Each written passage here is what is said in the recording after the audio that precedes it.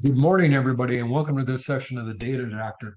Today, we're going to talk about a, topic that's a little bit more difficult than things I've talked about in the, uh, in the past. Today, we're going to talk about fiscal year calculations, and we're going to talk how to do year-over-year calculations, year-to-date, quarter-to-date, month-to-date, and then how to determine the variances uh, year-over-year or period-over-period with those calculations.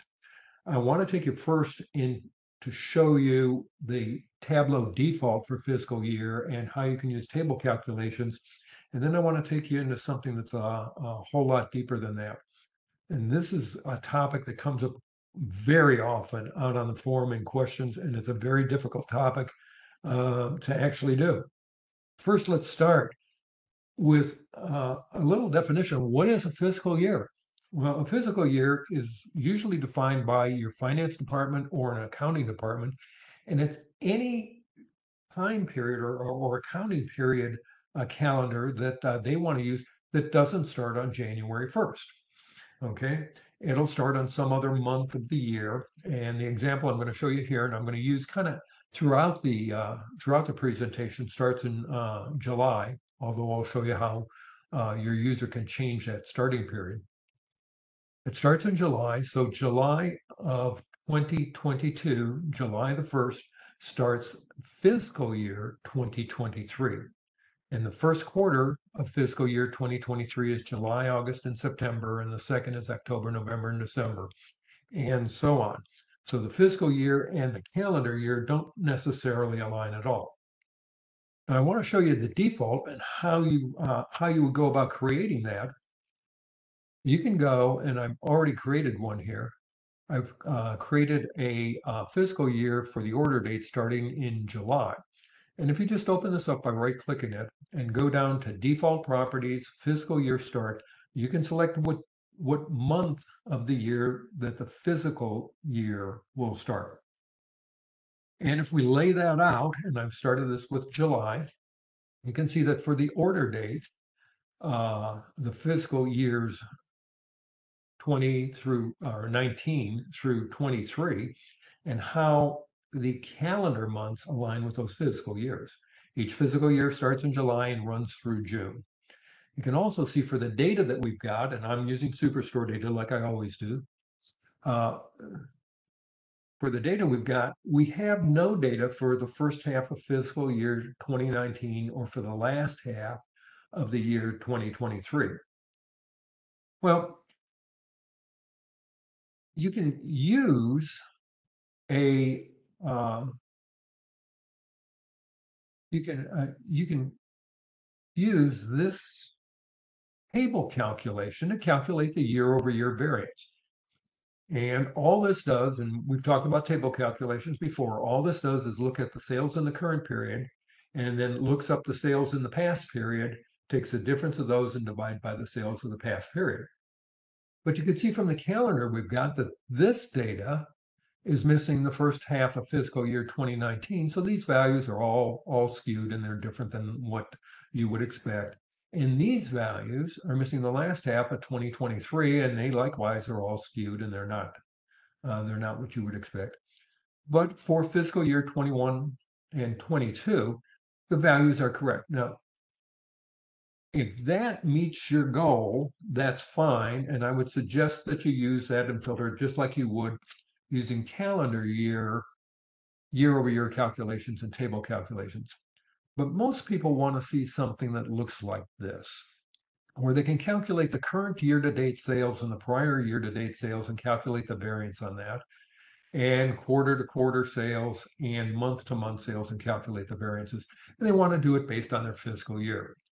Now, this gets into a very, uh, a very deep calculation. Now, I want to take you back to how we solve this problem using calendar years. And if you've ever come out to the forum and you posted a question where you're doing year over year analysis, you probably got an answer from me back that said, uh, I want you to use a fixed end date and you fix the end date with a parameter and then we wrote some LOD formulas, or they might not be LOD formulas, but we wrote some formulas for current year to date and past year to date, and then did the cal- uh, did the calculation. Let's take a look at what that might look like. First, we create a uh, we create a parameter. And this will take a second to open up for the calendar year ending when we're going to do that type of analysis. And it's just it's just a parameter that has a date in it. You need to tell, or the user needs to tell Tableau what's the ending period that you want to calculate. So you calculate the year to date, and this is where the date comes from. It comes from a parameter. Sometimes you would use today, or you might use the max date in the data set, but it has to have an end date that you uh, uh, you know. And then you would calculate the current year to date. And these are not LODs, but they could be LODs if you had a need for doing it. If you had a uh, a you wanted to break it out by division or sales region or something like that, you could use uh, uh, a calculation that did that. And we've seen this calculation before. Uh, all this does is check to see that the year of the order date is the same year as the parameter, and the date, the date, the day level date of the order date is less than or equal to the day in the parameter.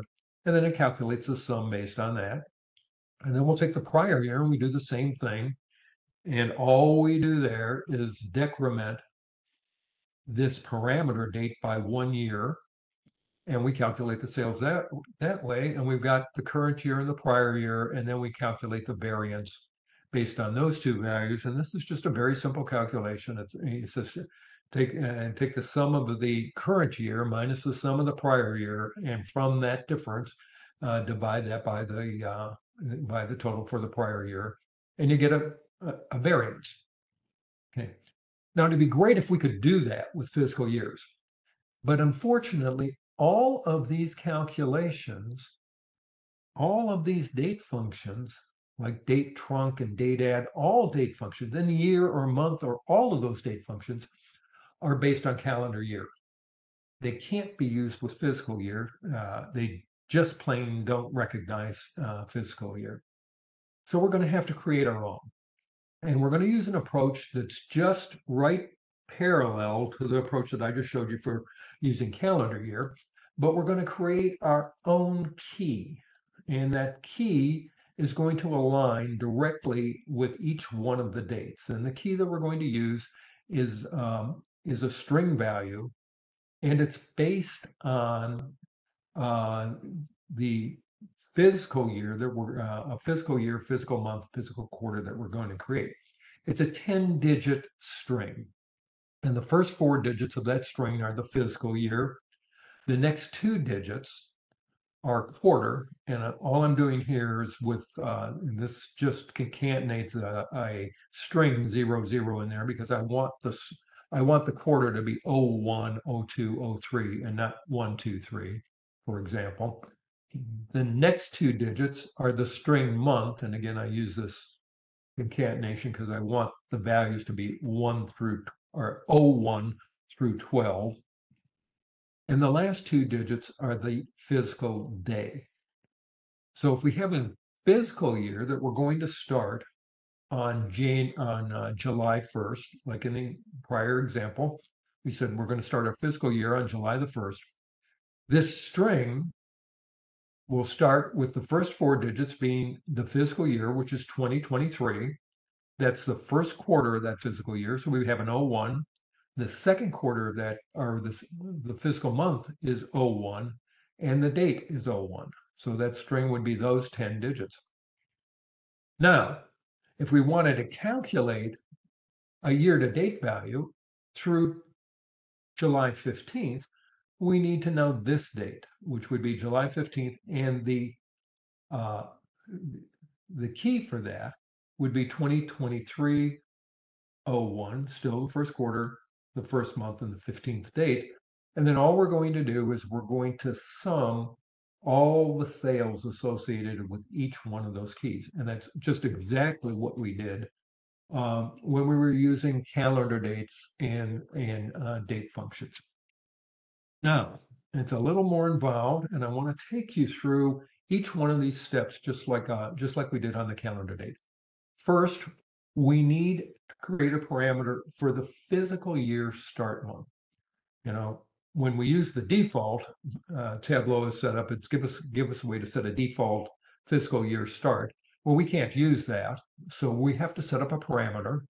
And all this parameter is, it's an integer parameter with the values 1 through 12 associated with January through December.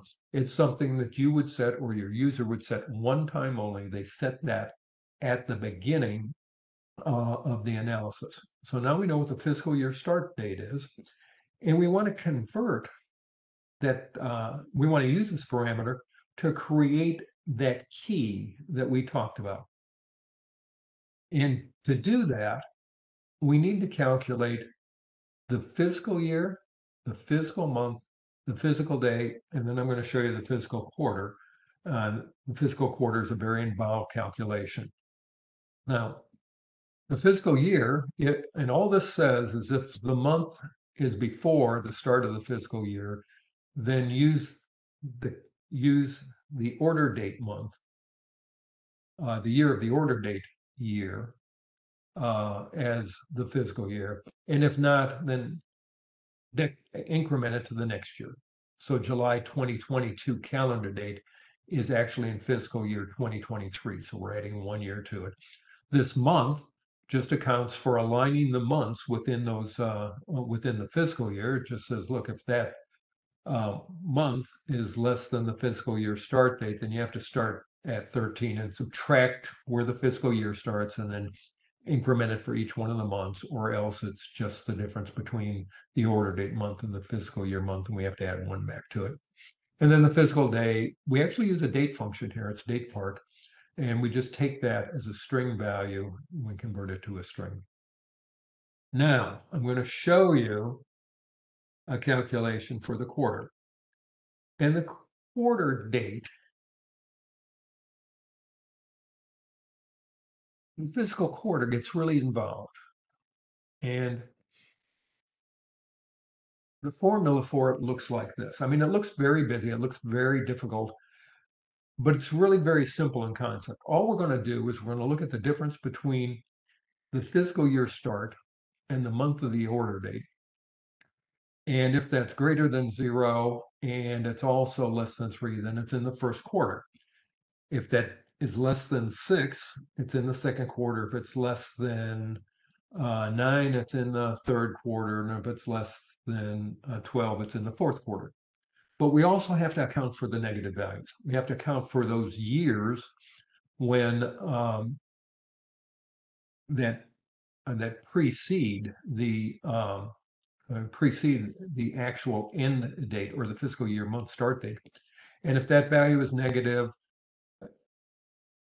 if the value is less greater than minus three, then you're in the fourth quarter if it's greater than minus six, you're in the third quarter, the second quarter, and the first quarter, and so on. It looks like a pretty involved calculation. It is not quite as difficult conceptually, but the mechanics on it are a little difficult to deal with. So we're going to apply this key, and I'm going to show you where it fits into a key. We're going to use those to create a key, and this is what the key looks like. All we're going to do is we're going to take those values and we're going to create that string from the, the fiscal year, from the fiscal quarter, from the fiscal month, and from the fiscal day, and create this 10 digit key. And we're going to apply that to all the dates in our data set. So for January 18th, for example, that date is in fiscal year 2019. That is the third quarter of that fiscal year. It's the seventh month of that fiscal year, and it's the 18th day. And we could go down here and we could take February 2nd, for example, it's 2019. It is uh, in the third quarter, it's in the eighth month, and it's the second day. So now we've created this relationship between the actual calendar date and the fiscal date that you need to calculate year-to-date calculations and quarter, year to quarter and quarter over quarter and year over year calculations using the fiscal date. Okay.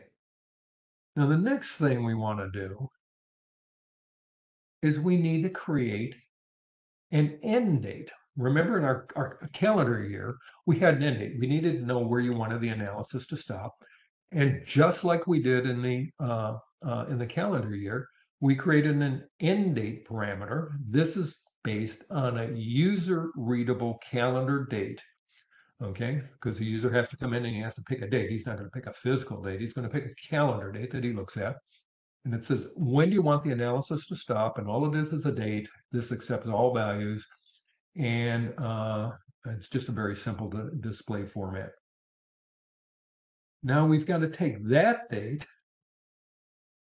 and turn it into a key also. And I'm going to show you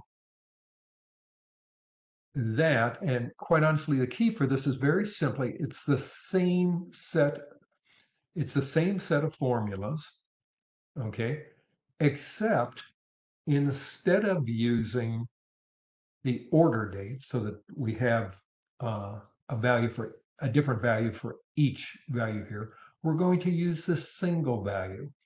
We're going to use the end date and we're going to use it in the series of formulas, and we'll just take a look at a couple of these. We don't have to go into a great deal of detail. Here's the current year end date month, and this is exactly the same formula I just showed you for the for the uh, to create uh, the key that we applied to all dates. It's exactly the same formula, except instead of using end uh, end date or uh, order date in here, we're using that uh, parameter date. And we do the same thing for the quarter. Nasty formula, but all we're doing is subbing in this date for the order date and the year. And from that, we're going to create a key for the current fiscal end date. And it looks just like the key we used before, except we're subbing in this these values that we created for the fiscal year and the fiscal month and based on uh, the parameter, uh, based on the user input, the quarter and the day. And as you can see here, because this value is set as a parameter, the value for the end date is always the same. So for 9, which is September uh, 9 30, 2020, that key date is 2021. So that's fiscal year 2021 that's in the first month or the uh, first quarter of 2021. It's the third month and it's the 30th day. Okay. Now, what we're going to do uh, next is we're going to create the calculation that does the year over year uh, summation. And these formulas, if you look at them, they're they're directly aligned with the formulas that we used when we had a calendar year all we're going to do is we're going to take a look on the year-to-date analysis, and we're going to see if the fiscal year uh, in the data, the key that we created for the data, that fiscal year, is the same as the fiscal year for the end date that we just looked at. And also, are the days, the fiscal, the key for the days in that uh, database for each one of those uh, each one of those dates. Are they less than or equal to the end date of the uh, parameter that we just created? So that's directly analog uh, analogous to what we did with uh, with the calendar year. The month we're doing the same thing. We're looking are, are, is it the same year and the same month and the date is less than uh, the end date? If so, then sales. And for the quarter, same thing again, if the year and the quarter are the same as the end date parameter and the date is less than the end date, then sales. So this is directly analogous, uh, analogous to the uh, what we did with the uh, calendar dates. It would look like this. Okay, if I've got an, a fiscal year that starts in July and I've got an end date that the user input of 9 30 20 or the end of September.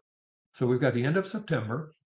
Our month to date is this value of 64,000. Our quarter to date are the values in that first quarter, that's July, where the year started, and the quarter started, August and September, and our year to date are those three values. And if we increment that end date, if the user says, no, I want to look at the year to date values through uh, October 31st, we can see the values change. We're now looking at October. October's in the second quarter. So the October uh, quarter and the or uh, the uh, second quarter date and the October values are the same. And now the year to date includes that. We could increment that again, just for example, here we go out to November.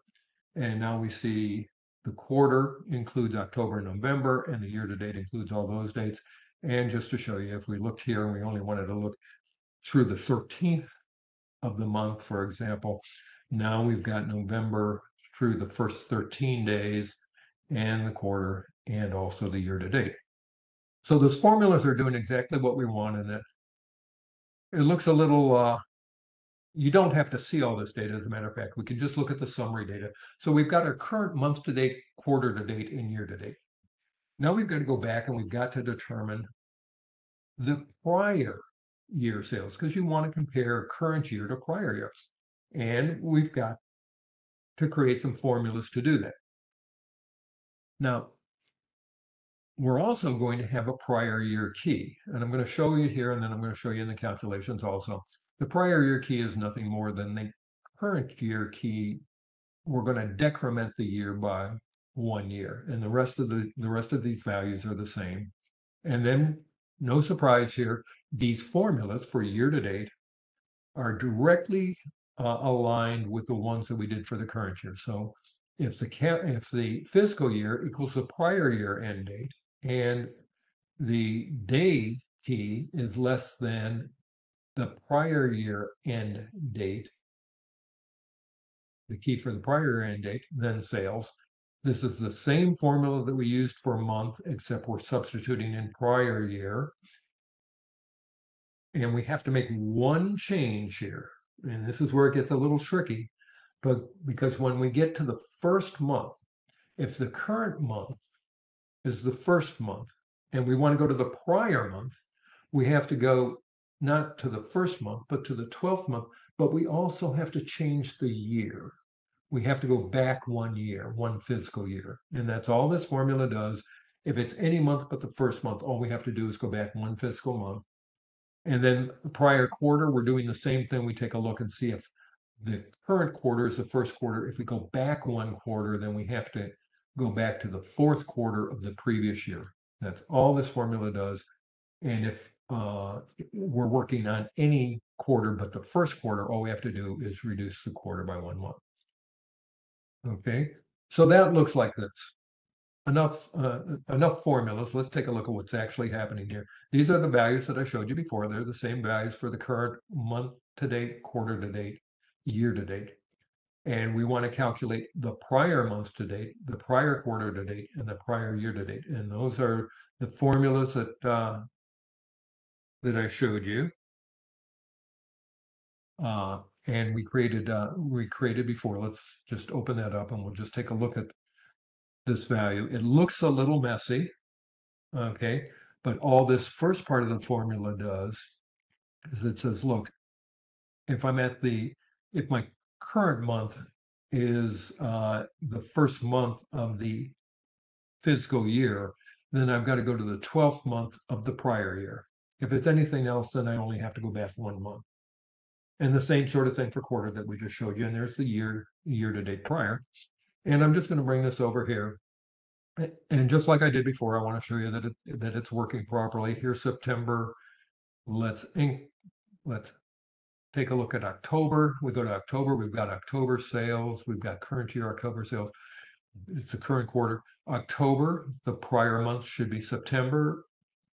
Okay, sure enough, we're looking at September.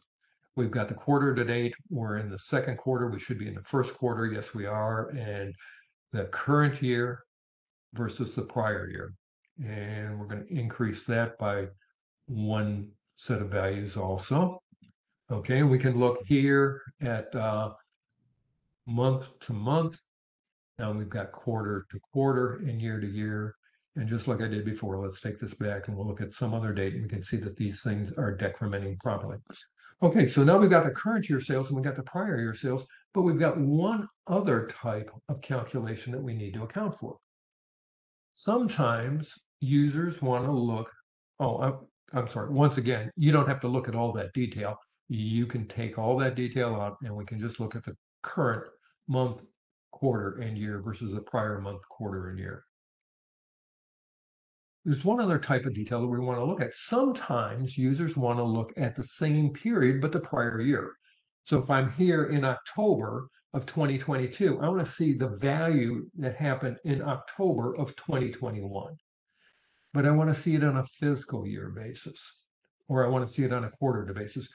And those formulas are really fairly simple. You know, it's just uh, here if the uh, if the fiscal year equals the prior year and the month equals the current month, then uh, sum the sales, and this just accounts for the year variation. And the same thing here with the quarter. If the fiscal year equals the prior year and the quarter equals the current quarter, then uh, account for the date difference between the current end period and the uh, the end period one year uh, previous.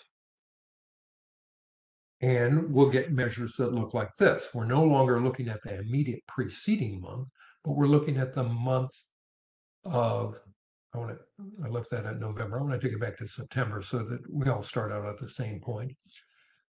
So we had September of 20. We want to see fiscal year September of 19 and quarter to quarter and year to year. Okay. And once again, Sorry, Jim, sorry to stop you over here.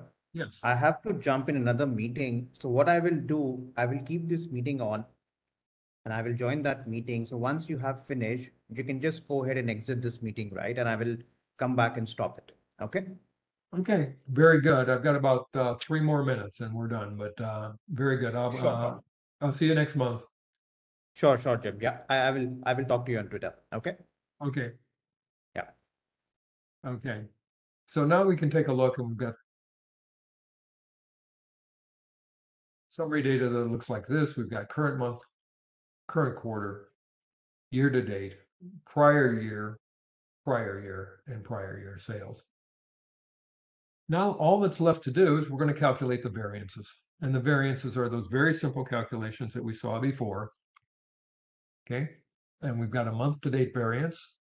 And we're going to take a look, and that's just nothing more than the sum of the current month to date sales versus minus the prior month to date sales divided by the prior month to date sales. And we do the same sort of thing for quarter. The current quarter minus the prior quarter divided by the prior quarter, which is what you wanted all along. And now we can come back and we can look at values that look like this. And we've got the current, the prior, and the variance, both in terms of year, quarter, and month to date. You could make those table, or you could make those uh, LOD expressions if you had a need to do that, if you were working with different divisions or different sales regions, for example. Now, I've shown you a lot of formulas. And the good news is you don't have to do any copying of formulas or redevelop any of those formulas. This workbook is already sitting out on my Tableau Public site. You can go out to my Tableau Public site, you can use this link or just go to my Tableau Public site and it is this first this first uh, uh, this first page on my Tableau Public site. Just open that up, download the workbook. It's completely downloadable and you can go from there. The second uh, thing that you can do, everything we've talked about, I've put in a blog. All the equations are out there. I suggest you download the workbook and, and use the workbook as your model. But everything we've talked about is already on my blog, and you can get to my blog at this site, or it's just jimdehner.com. And it is this first uh, this first page right here. You can open it up, you can use it, you can download that also. I thank you for your time. I look forward to meeting with you again next month. Bye now.